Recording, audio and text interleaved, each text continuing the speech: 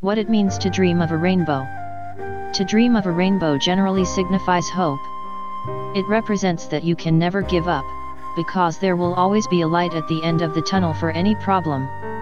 If you have seen this phenomenon, in a dream, it is an omen that the resolution of pending problems is near.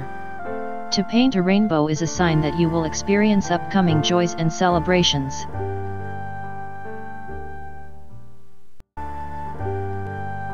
If you are not subscribed to the channel here, Mamba Dream, please subscribe, as I am here bringing you dream interpretations every day.